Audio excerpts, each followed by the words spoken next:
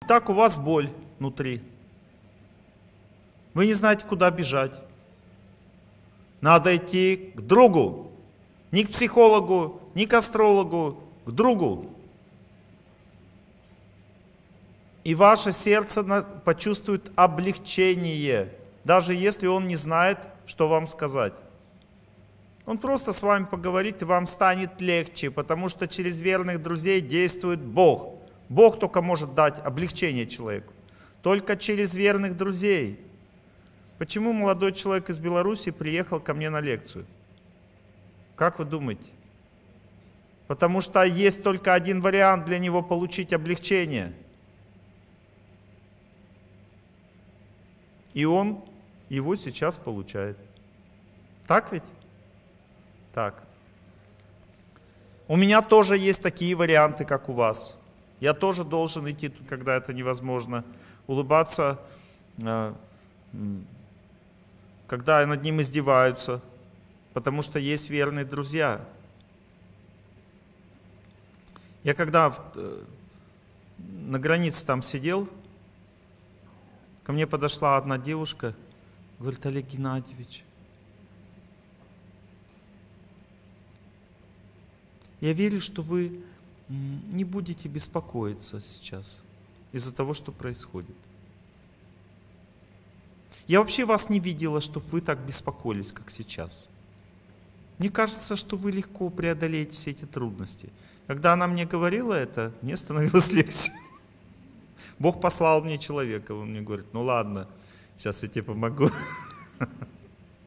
Она, я начал вдыхать, выдыхать воздух. Ну, то есть я почувствовал, что мне есть поддержка здесь, что все нормально, меня ждут в этой стране.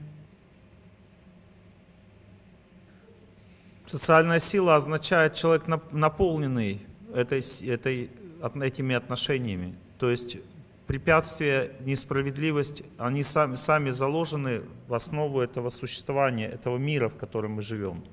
Но способность это все принимать означает какая-то внутренняя энергия. Эта энергия идет от э, дружеской позиции, когда человек настроен любить вас, он дает силы, и эта сила, она будет давать возможность жить. Если у вас нет социальной силы, нет мужа, нет э, работы, или она слабую позицию имеет, значит у вас мало силы. Ну, допустим, жена издевается. Почему она издевается? Потому что, может быть, она только родила, когда женщина рожает, она теряет очень много психической энергии, очень много. И откуда ей брать эту энергию? Естественно, она настроена брать у мужа. А как женщина берет психическую энергию мужа? Она проявляет эмоции и долбает его. Совершенно беспардонно. Потому что она имеет все права. Вот. Муж, естественно, страдает, он видит в этом несправедливость.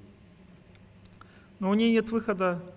Она истощена, Ей нужны силы. Она родила ребенка, теперь она забирает силу мужа. Что делать? Нужны верные друзья, иначе не выживешь. Ну то есть разобраться с человеком сейчас ты не сможешь, потому что он в аффекте. Он истерит, мучается, как бы кричит. Причина та же самая, что у ребенка. Вот, допустим, если мы любим кого-то, мы даем ему право так себя вести.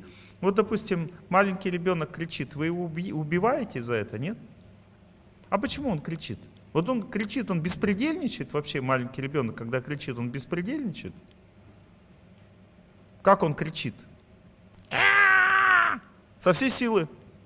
Сколько есть. Приятно это слушать? Нет. Почему? Потому что и кажется, что он так кричит вообще. Можно же поспокойнее как-то объяснять. Да никто не будет объяснять спокойнее. Если человеку плохо, он начинает беспредельничать. Это естественно для него. Да. Вот. И э, то же самое взрослый делает. Вот если, допустим, э, жена кричит. В чем причина? Не то, что ты плохой, она тебе будет кричать, ты плохой, я тебя не люблю. Ну, что обычно жена кричит? Ты плохой, я тебя не люблю, я зря с тебя вышла замуж. Что это означает? Я устала означает мне плохо, э, у меня нет сил, там еще что-то, ну примерно это, больше ничего не означает.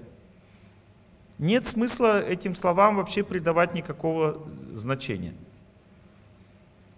Теперь что делать? Надо посмотреть, где трещина. Допустим, вот мне, жене, моей жене надо периодически оставаться одной, чтобы ее никто не беспокоил. Она тогда восстанавливается. Другой, допустим, женщине нужны какие-то другие варианты. Ну, допустим, куда-то съездить, что-то купить, еще что-то. Ну, то есть у каждого свое. Пойти на какой-то кружок, умелые руки, умелые ноги, там, еще что-то. Ну, то есть у каждой женщины свое, и надо ей дать возможность отдыхать. И тогда она не будет э, истерить. Может, она сама даже не знает, что ей надо. Надо изучить это. Но в целом, когда человек беспредельничает, везет себя плохо, значит, он плачет просто, как маленький ребенок. Вот чего ребенку не хватает? Может быть, он не выспался. Ну пусть выспится, тогда он успокоится. Может быть, он хочет кушать, ну пусть покушает. Может быть, он хочет на улицу. Так? И когда на улицу его вытаскиваешь в коляске, он успокаивается, перестает плакать. Может быть, он хочет на ручки, да, чтобы его пожалели. Хорошо, возьми на ручки. Какие еще варианты бывают? Писить, какать, да? Еще какие? А? Зубы режутся. Ну тут ничего не сделаешь уже. Надо просто внимание, любовь, ласку. Хорошо. Жена, когда пищит, кушать вряд ли она сама может покушать. Спать, ну тоже мало. Хотя, может быть, если женщина с маленьким ребенком, она не высыпается сто процентов, значит, ее надо пытаться ей дать возможность поспать. То есть сон в данном случае уже выход. Если она будет высыпаться, то она будет лучше себя вести. Дальше сон решили вопрос. Теперь внимание, ласка, тоже важно, то есть подходить к ней, гладить ее по голове, говорить, моя хорошая, моя дорогая, я так тебя люблю. Ну, хоть ты ее не любишь, потому что мы все друг друга не любим, это просто надо понять, что ты говоришь это для того, чтобы сделать счастье человеку. Но мы вообще не можем любить на самом деле, можем только наслаждаться друг другом. В этом проблема. Но надо все равно говорить, я тебя люблю, потому что эти слова сами указывают на любовь. Если ты говоришь, значит, это уже лучше, уже приятнее. Вот.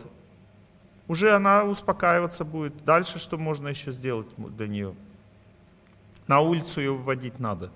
Потому что все люди страдают сейчас от того, что им не хватает энергии